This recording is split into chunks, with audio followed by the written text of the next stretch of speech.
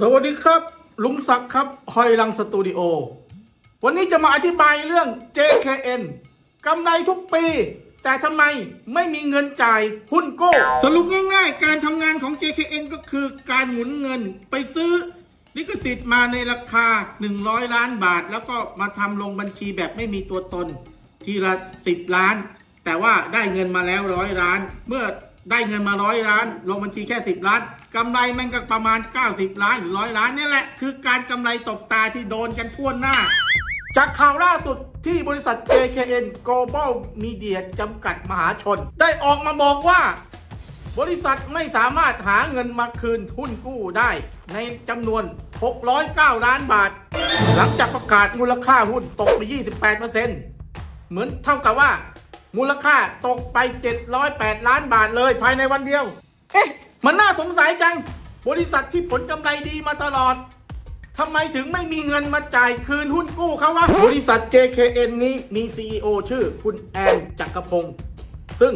เป็นคนที่มีความเก่งกล้าสามารถในการนำคอนเทนต์ต่างๆ มาเปิดเผยแล้วก็มาเผยแพร่ทำให้สังคมนิยมตามในสิ่งที่เขาได้ดังพามา ดังนั้นธุรกิจหลักๆของ JKN ก็คือการซื้อ content ลิขสิทธิ์หลักๆ ของต่างประเทศนำมาจำหน่ายแล้วก็เผยแพร่ตามช่องทางต่างๆ ไม่ว่าจะเป็นทีวีดิจิตอลแล้วก็มีช่องไอช่องทางของตัวเองก็คือ JKN 18 ซึ่งได้เอามาเผยแพร่ผ่านระบบวิดีโอ on demand โดยประเทศหลักๆที่ JKN นำลิขสิทธิ์ content ต่างๆ มาจำหน่ายก็จะเป็นอินเดีย ปินส์อเมริกาเกาหลีใต้และก็จีน หลักๆ เริ่มต้นจากอินเดียเลย ซึ่งสังคมก็เฮ้ยแปลกว่า หนังอินเดียดูโบราณโบราณทำไม JKN เอามาจำหน่ายแล้วก็บอกว่ามีรายได้เป็นหลักพันล้านตั้งแต่เริ่มต้นเลยทีเดียว ซึ่งไปดูตามทีวีช่องต่างๆแม่งก็ไม่ค่อยมีเท่าไหร่นะ แต่ทำไมเขาบอกว่ารายได้ดี ก็สงสัยมีหลายคนสงสัยเหมือนที่ผมสงสัยหรือเปล่าตั้งแต่แรกแล้วแต่ก็เออหรือว่ามันมี จุดจำหน่าย แล้วก็ที่เรานึกไม่ถึงหลาย ๆ อย่าง รายได้ของเขาก็มีธุรกิจ การเช่าบริการ การเช่าเวลาโฆษณาแล้วก็จำหน่ายสินค้าผลิตภัณฑ์ต่าง ๆ ทั้งอาหารเสริม ทั้งวิตามิน แล้วก็ธุรกิจล่าสุดเป็นที่ฮือฮาเป็นผู้บริหารจัดการ Miss Universe ตัวแทนของระดับโลกเลย เป็นเพียงผู้เดียวในประเทศไทยแล้วก็ในทั่วโลก ซึ่งการทุ่มทุนครั้งนี้ กระเป๋าแทบฉีก 800 ล้านบาท ตอนแรกถ้าไม่มีใครสนใจเรื่องหุ้นเรื่องอะไรก็ไม่รู้หรอกว่า โอ้โห นางจะต้องมีรายได้ดีมีเงินเหลือ ถึงทุ่มทุนซื้อขนาดนี้ เพราะว่าไอ้ธุรกิจเนี่ยอเมริกายังเอาไม่รอดเลย ยังจะขายทิ้ง แต่นางกลับไปซื้อมาในในราคาท้องตลาดแค่ 600 ล้าน นางซื้อมา 800 ล้าน ให้ราคาสูงกว่าคนอื่นอีก ซึ่งบริษัท JKN เนี่ย มีการทำบัญชีมีการปรับปรุงตัวเลข ที่รู้สึกว่ารายได้ค่อนข้างดี ธุรกิจกิจการนี่ค่อนข้างดี บอกแล้วไง ตั้งแต่เอาหนังอินเดียมาขายแล้ว คนอื่นดูดูแล้วมันไม่น่าจะเกินหลักร้อยสองร้อยล้าน แต่นางสามารถทำรายได้เป็นพันล้าน ซึ่งเป็นการสร้างภาพให้คนอื่นเข้าใจได้ว่า สิ่งนี้มันเกิดขึ้น การทำบัญชี การทำธุรกิจให้รายได้ดีแบบนี้ บริษัทสตาร์ททำเป็นตัวอย่างมาแล้ว ซึ่ง ถ้าดูจากระบบบัญชีแล้ว โอ้โหรายได้ดีแม่งมีผลกำไรมาตลอด ซึ่งสิ่งที่เราเห็นมันอาจจะไม่ใช่ สิ่งที่คือความเป็นจริงก็ได้ เมื่อมานั่งพินิจพิเคราะห์ดูแล้วเนี่ยสถานการณ์หลาย ๆ อย่างเนี่ยมันมีบางสิ่งบางอย่างเนี่ยมันซ่อนอยู่ภายในนั้น ซึ่งมันดูแล้วธุรกิจหลักของ JKN ก็คือการซื้อแล้วก็จำหน่ายบริหารการจำหน่ายคอนเทนต์ต่าง ๆ ซึ่งจะต้องมีการไปซื้อคอนเทนต์มาจาก ประเทศต่างๆ อย่างที่ยกตัวอย่างไปแล้วข้างต้น พวกอินเดีย ฟิลิปปินส์อเมริกาเกาหลีใต้แล้วก็จีน ซึ่งต้องใช้เงินก้อนใช้เงินออกไปซื้ออยู่เรื่อยๆ ซึ่งการซื้อมาปุ๊บมันก็ไม่ใช่ขายได้ในทันที มันไม่เหมือนสินค้าในปกติ มันต้องเอาออกมาโปรโมทเอาออกมานำเสนอ เพื่อให้มีการจัดซื้อในภายหลัง ซึ่งดูเหมือนกับรายได้ดี แต่เขาได้บันทึกทรัพย์สินว่าเป็นทรัพย์สินที่ไม่มีตัวตน ซึ่งสินทรัพย์ที่ไม่มีตัวตนนี้ก็คือบรรดาลิขสิทธิ์แล้วก็เครื่องหมายการค้าต่างๆ การตกลงซื้อสินทรัพย์ตัวนี้มันจะตกลงซื้อเป็นเงินทุนก้อนใหญ่ ๆ เลยนะหลาย ๆ ตัวหลายๆลิขสิทธิ์เนี่ยแต่การเอามาลงบัญชีสินทรัพย์เนี่ยเขาจะมีวิธีการลง การลงบัญชีสินทรัพย์ประเภทนี้เขาใช้วิธีตัดทีละ 2 ปี 3 ปี 5 ปีแล้วก็ 10 ปี ถ้าเป็นแบบนี้ เราจะดูแค่บัญชีกำไรอย่างเดียวไม่ได้ มันต้องไปดูสินทรัพย์เงินสดของบริษัทด้วย พูดง่ายๆ ว่าเงินลงทุนสมมุติว่าเขาลงทุนซื้อลิขสิทธิ์นี้ไป 10 ล้านใช่ไหม แล้วเขาอะมาลงบัญชีอ่าลิขสิทธิ์เนี่ยมันเป็นก้อนใหญ่ แล้วลิขสิทธิ์นี้อาจจะไปขายได้ทีละ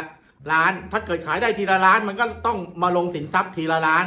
เออเท่ากับว่าเงินเนี่ยเงินออกไป 10 ล้าน แต่มาลงสินทรัพย์ทีละล้าน แล้วเวลา ขายเนี่ยมันอาจจะขายได้2ล้าน3ล้านเท่ากับว่าดูกำไรมันกำไรดีไงเล่า พอมาดูกระแสเงินสดเข้าเท่านั้นแหละตกใจ เพราะว่าปี 2562น่ะขาดทุนไปแล้ว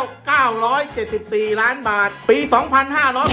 2563 ติดลบไป 2,000 กับ 20 ล้านบาท แล้วก็ปี 2564 ติดลบไป 2,259 ล้านบาท ปี 2565 ติดลบไปถึง 2,847 ล้านบาท เงินติดลบเพิ่มขึ้นเพิ่มขึ้น มันเพราะอะไร เอาตัวเลขเงินสดติดลบ แต่งบออกมากำไรปี 2562 กำไร 253 ล้านบาท ปี 2563 กำไร 312 ล้านบาท ปี 2564 กำไร 179 ล้านบาท แล้วก็มาปี 2565 กำไรอยู่ที่ 608 ล้านบาท ดูจากตัวเลขบัญชีแล้วมีผลกำไรดีต่อเนื่อง แต่ก็มีการลงทุนไปใหม่อยู่เรื่อยๆ เงินที่ไปลงทุนซื้อสินทรัพย์ทั้งหมดเนี่ยเกือบ 3,000 ล้านบาทในเวลาไล่เลี่ยกัน แล้วผลที่กำไรมันก็จะน้อยกว่าเงินที่ลงทุนไปใหม่ ซึ่งเขาก็แปลกนะ มีกำหนดชำระหนี้อยู่ล่วงหน้า แต่ก็ยังเสือกไปลงทุน แม้กระทั่งเวทีนางงาม รู้อยู่แล้วว่าเงินหมุนเวียนเข้ามาไม่พอ แต่นางก็กลับไปลงทุนอีก ซึ่งทำให้สงสัยหลาย ๆ อย่าง ดูง่าย ๆ นะ ไอ้เงินที่ลงทุนไปใหม่ 3,000 ล้านนั่นน่ะมันมากกว่าผลกำไรเนี่ยถึง 5 เท่าเลย แล้วจะเอาเงินสดที่ไหนมาถมอยู่เรื่อย ๆ ซึ่งตามระบบของบริษัททั่วๆไปเงินสำรองไม่เก็บเอาไว้แบบนี้นะ มีแต่เงินสดไหลออกมากกว่าเงินสดที่ไหลเข้าแบบนี้ มันก็ต้องประสบปัญหาแน่นอน ซึ่งการดูระบบบัญชีก็สามารถไปดูอีกแบบหนึ่งได้คือไปดูสินทรัพย์เทียบเท่าเงินสด ซึ่งดูได้ในไตรมาส 2 เวลาปิดงบแล้วเนี่ย ก็จะพบว่า JKN มีสินทรัพย์เหลืออยู่แค่ 113 ล้านบาทเท่านั้น ซึ่งหลายคนก็สงสัยอ้าว ติดลบน้อยหรือติดลบต่อเนื่องขนาดนี้แล้วจะไปเอาเงินทุนที่ไหนมาลงทุนต่อเนื่องได้อีกเป็นพันล้านบาท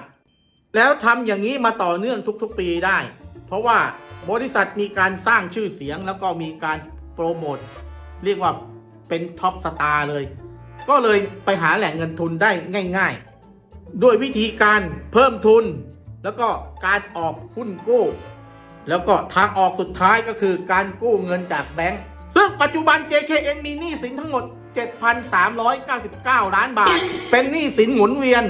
หรือหนี้สินที่ครบชำระภายใน 1 ปีนี้ 4,369 ล้านบาท และในจำนวนนี้แหละ ที่เป็นปัญหาอันดับแรกเลย ที่มันครบกำหนดที่จะชำระหุ้นกู้เนี่ยจำนวน 609 ล้านบาท ในวันที่ 1 กันยาที่ผ่านมานี้ ซึ่งบริษัทก็ออกมาพูดแบบแบบมึนๆหน้าด้านๆเลยบอกว่า เอ้ยเงินหมุนไม่ทันเว้ย ขอชำระแค่บางส่วนก่อนได้ไหม ซึ่งแบบนี้ทำถ้าทำแบบนี้เครดิตในสังคม มันก็เสีย ยิ่งคนยิ่งตกใจก็ไม่มีใครให้กู้ แบงก์เบิร์กใครที่ไหนเขาจะให้กู้ ยิ่งเรื่องนี้มันแดงขึ้นกับคนก็เริ่มไปขุดไปแซะไปแคะไปแกะไปเกาว่าเฮ้ยไหนบอกว่ามีกำไรดีต่อเนื่องตลอด แล้วทำไมไม่มีเงินมาจ่ายหุ้นกู้วะ ซึ่งเหตุการณ์นี้ก็เป็นกรณีศึกษาให้หลาย ๆ คนเข้ามาดูแล้วก็ เอ๊ะไอธุรกิจแบบนี้นะ ดูภาพรวมๆแล้วเหมือนกับแบบว่าแม่งกำไรดีรายได้ดี ความเป็นเอกลักษณ์เฉพาะของธุรกิจนี้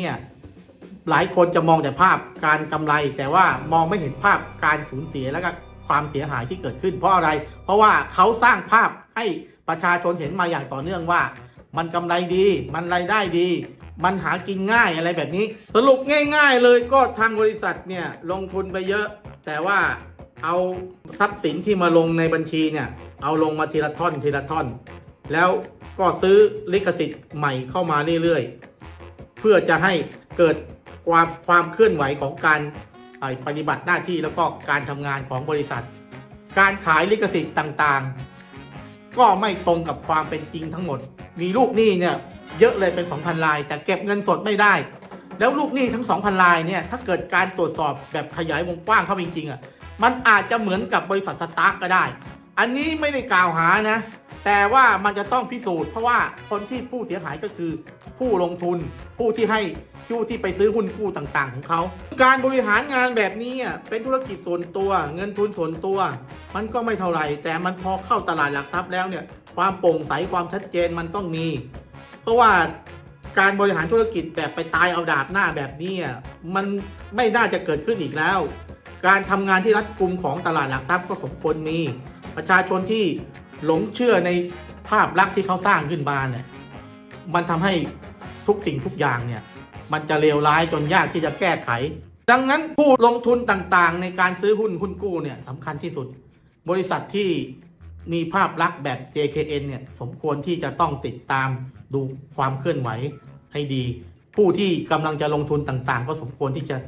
คิดแล้วก็วิเคราะห์ให้ดีกว่านี้ แต่ทำยังไงได้ เราอะเอาความหวังทั้งหมดทิ้งไปอยู่ที่ตลาดหลักทรัพย์ แต่ตลาดหลักทรัพย์เนี่ยแมงไม่ได้มองเห็นความสำคัญของคนตัวเล็กตัวน้อยเลย มองแต่ภาพลักษณ์ในการที่ทำให้ตลาดดูมันเฟื่องฟู แล้วก็ ดูแบบเข้ามาลงทุนตลาดมันมีการเปิดกว้างมากขึ้น ตัวเลขมันสูงขึ้น แต่ความรัดกุมของในแง่กฎหมายการลงโทษผู้ที่กระทำผิดเนี่ยมันยังน้อยนัก โดยเฉพาะระบบบัญชีเนี่ยยังมาตกแต่งบัญชีคราวนี้ก็เกิดขึ้นอีก แล้วก็จะมีขึ้นอีก เพราะฉะนั้นทุกคนต้องระมัดระวังตัวให้ดี แล้วก็คอยดูแลตัวเองดูแลการทำงานของแต่ละบริษัทให้ดีๆนะครับ แล้วก็ต้องคอยดูกันต่อไปว่า JKN นี้จะเป็นยังไง แก้ปัญหาได้มากน้อยแค่ไหน แล้วก็บริษัทต่างๆ จะต้องมีการรัดกุมแล้วก็ดูแลให้ดีๆ สักแค่ไหนอย่างไรครับคลิปนี้ก็จบลงครับ ขอบคุณครับ